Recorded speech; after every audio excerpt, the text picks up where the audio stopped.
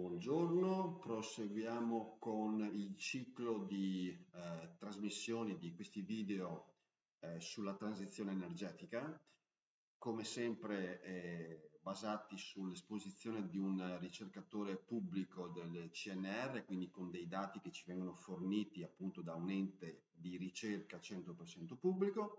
Eravamo rimasti nella scorsa puntata al fatto che i pannelli fotovoltaici sono molto semplici da uh, smaltire in quanto sono composti da uh, 75% di vetro e poi abbiamo uh, 12% plastica, 9% alluminio, 3% silicio, 1% rame. E quindi a livello qualitativo non pongono un problema. Adesso passiamo a livello quantitativo, perché come dicevo anche nella scorsa puntata, da anni i giornali e le radio ci hanno convinto che il problema mondiale dei rifiuti globale sia quello dei pannelli fotovoltaici, quando in realtà i pannelli fotovoltaici rappresentano una quantità minimale, assolutamente minimale, adesso la vedremo un po' più in dettaglio, ma prima di passare all'esposizione di Armaroli e poi alle slide seguenti, volevo già anticiparvi una diapositiva, eccola qui, adesso sono andato oltre, torniamo indietro, eccola qua, che è estremamente importante, estremamente importante. Allora, quando viene installato un impianto fotovoltaico da un megawatt, si produce un tot di energia. Tipicamente un impianto fotovoltaico tipicamente dura 30 anni, quindi per 30 anni produce una certa quantità di energia. Ora eh, i, eh, i, ricercatori hanno calcolato l'equivalenza di quanto carbone serve per produrre la stessa elettricità, energia elettrica, in 30 anni. Come vedete ci vogliono 70 volte più materiali in peso. Quindi 200 tonnellate di materiali per fare un impianto fotovoltaico eh, da un megawatt per produrre la stessa quantità di elettricità che viene prodotta tipicamente in questi 30 anni, ci vogliono 14.000 tonnellate di carbone. Però con l'enorme differenza che il pannello, come vi ho appena mostrato, è fatto per tre quarti di vetro e poi eh, altri materiali che si riescono a riciclare. Il, il, carbone produce delle ceneri di carbone che adesso andremo a vedere un po' più in dettaglio, sono estremamente più pericolose. Eh, torniamo indietro e anzi diamo la parola al professor Amaroli, intanto io mi riporto al pari con le eh, diapositive e adesso andremo a vedere appunto le quantità. Allora, diamo la parola ad Armaroli e vediamo le quantità. Qualcuno dice, vabbè, saremo sepolti dai pannelli fotovoltaici perché voi a forza di installare voi li ci seppellirete.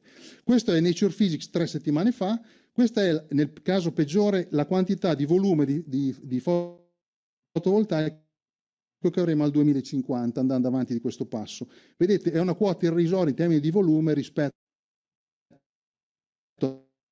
ad esempio alla plastica e così via. Quindi quella dei chiave è la produzione del polisilicon purissimo che viene fatta.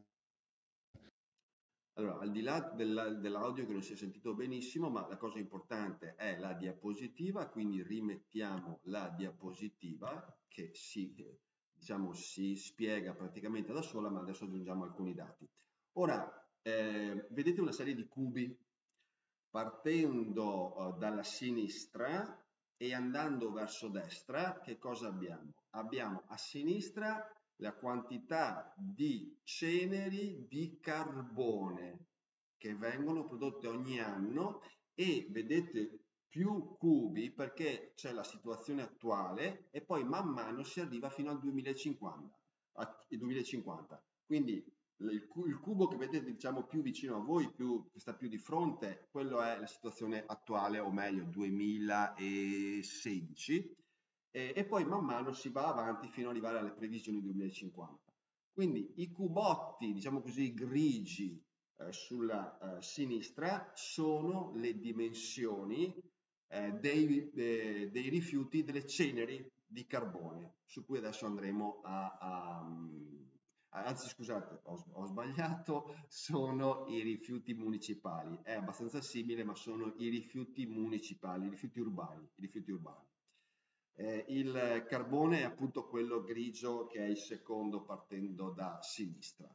Dopodiché quello diciamo rossastro sono eh, i rifiuti plastici, altro immenso, enorme eh, problema in generale e certamente eh, come abbiamo visto nella puntata precedente il pannello è fatto al 12% anche lui di plastica ma certamente non è qui ci vuole un grosso esperto non è il pannello a produrre a, a consumare e impiegare quella enorme quantità di plastica che usiamo in migliaia di, applica- di applicazioni tra cui vi ho ricordato nella scorsa puntata ma lo ricordo adesso eh, il, l'abbigliamento. L'abbigliamento è la seconda filiera più inquinante al mondo, i nostri abiti sono quasi tutti ormai un misto tra fibre naturali, lana, canapa, eh, sì, canapa magari, cotone, altre fibre naturali e poi c'è l'onnipresente poliestere in varie, eh, in varie tipologie con varie eh, miscugli all'interno dei vestiti e proprio questi miscugli rendono i vestiti molto difficili da riciclare.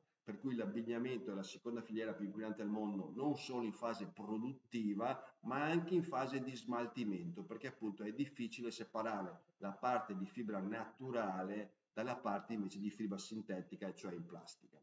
Bene, arriviamo al, eh, alla parte blu alla parte blu che sono i famosi RAE, i famosi rifiuti elettrici ed elettronici, quindi televisori, computer, smartphone, eh, frigoriferi, forni, lavatrici, aspirapolvere, robot eh, per la pulizia, eccetera, eccetera. Tutti i rifiuti elettrici ed elettronici.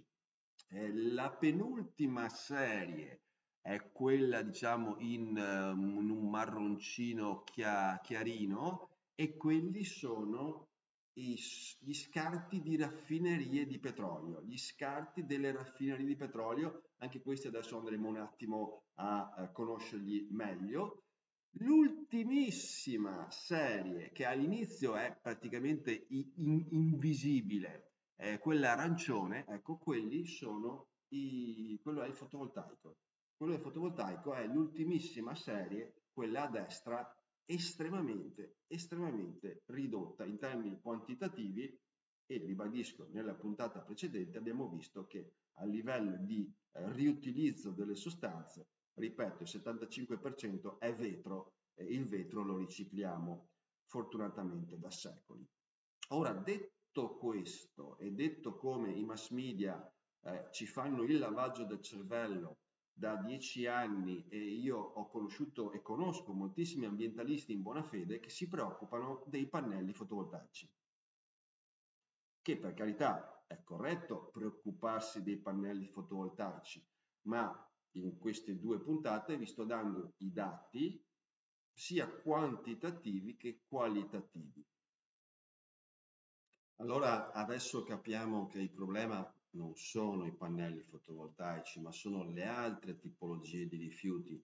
Ma io vi, do, vi voglio dare alcuni dati, alcune informazioni ulteriori. Eh, sulla plastica si è parlato moltissimo, dei rifiuti elettrici ed elettronici ugualmente se ne parla abbastanza. Eh, I rifiuti urbani sono una tipologia molto eterogenea, ne parleremo eventualmente in altre occasioni ma vi voglio dare alcuni dati su dei materiali che usiamo da un, da un paio di secoli, e cioè il carbone e il petrolio, e cioè le ceneri di carbone, appunto il, quella quantità rappresentata dai cubi grigi, quasi la più grande, la seconda, la seconda da partire da sinistra, e poi eh, le, i rifiuti, eh, gli, lo scarto delle raffinerie di petrolio, quantitativamente decisamente meno, meno importante, ma la, pericolo, la pericolosità è simile. Allora partiamo dal problema quantitativamente immenso, con il carbone si fa ancora un buon 20% dell'energia globale, eh, appunto mondiale, E, mh, questi, questo dato ci dà subito a colpo d'occhio una, questa, questa grafica, ci dà a colpo d'occhio una, un primo dato, io ho, ho, fatto un conto molto veloce, 350 milioni di tonnellate di, eh, carbo, di, ceneri, di ceneri di carbone prodotte annualmente, 350 milioni di tonnellate, anche qui una cifra molto difficile da uh, visualizzare. E, ehm, di, che cosa, di che cosa preoccuparsi? Beh, di parecchie, di parecchie cose, parecchie cose, vediamo qua se funziona questo maledettissimo, questo maledettissimo sito che l'avevo caricato pochi secondi fa. Intanto nell'attesa che si, che, si, che si carichi andiamo a vedere questo. La cenere di carbone, allora ci sono, ci sono varie tipologie di carbone, il carbone non è unico, si differenzia per cosa contiene. Alcuni, carbo, alcuni carboni possono contenere anche sostanze eh, radioattive. In questo caso la cenere conterrà queste sostanze. Il problema qual è? Che mentre nelle centrali nucleari vere e proprie i rifiuti sono uh, smaltiti con enorme attenzione, con enormi costi, eh, come, come, visto nelle puntate precedenti, ne, nemmeno calcolabili perché ancora, ancora non sappiamo come, eh, come gestire questo, questo rifiuto. Eh, nel caso delle centrali a carbone invece non c'è questa attenzione e quindi oltre a, contenere diossina e tutta una serie di metalli pesanti che adesso vedremo, possono contenere anche sostanze radioattive ma non vengono appunto gestite con tutta questa attenzione. Può contenere silicio, mercurio, taglio, litio, cromo, piombo, arsenico, boro, cadmio, molibdeno e taglio e ripeto, qui stiamo parlando di 350 milioni di tonnellate all'anno di eh, ceneri di carbone che contengono anche queste sostanze. Similare è eh, la composizione degli scarti di raffinerie di petrolio, di raffinerie di petrolio, eh, che contengono anche in questo caso metalli pesanti come bario, zinco, cromo, arsenico, nickel, selenio, be, be, be, berillio e mercurio. E qui viene anche specificato appunto che eh, li contengono in maniera eccessiva, l'ambiente non ce la fa a, a auto, a, ad autorigenerarsi eh, e quindi vanno a contaminare il suolo, gli animali, le piante, eccetera, eccetera. L'ultima diapositiva che mi ero caricato, anche in questo caso vedo che vuole ricaricarla, perfetto da qui, allora eh, il termine inglese è oil sludge, appunto è il, il rifiuto finale del, della eh, raffineria petrolifera, eh, eccolo qua, contiene, contiene la, larghe, ampie quantità di cicloalcani, benzeni, eh, idrocarburi policiclici aromatici e altre sostanze tossiche e pericolose per l'ambiente che eh, pongono un sostanziale, eh, una sostanziale minaccia alla salute umana e alla, eh, all'ambiente circostante. Ecco, quindi queste sono solo mh, alcune informazioni che si possono reperire tranquillamente in rete, ma che giornali e tv, il, il cosiddetto mainstream, non ci passa ci passa sempre l'informazione che il problema è il pannello fotovoltaico. Quindi chiudiamo ancora con eh, questa slide che taglia la testa al toro per quanto riguarda il problema del, eh, dei rifiuti appunto da materiali, da prodotti energetici. Nemmeno questo vuole funzionare sta, sta funzionando tutto, tutto, malissimo, eccolo qua.